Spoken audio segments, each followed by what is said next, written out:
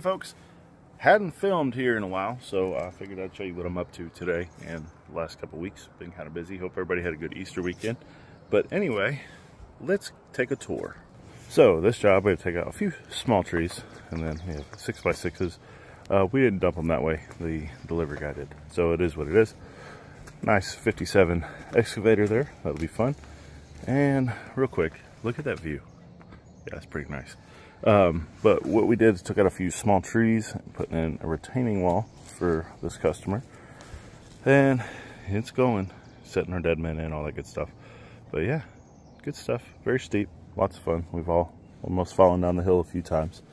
But that view though, my God. So if you can't get to the range and you're like me and you're stuck working and kids and everything else, um, do some dry fire. I try to do five, ten minutes dry fire every morning, even when I'm busy. All right, guys.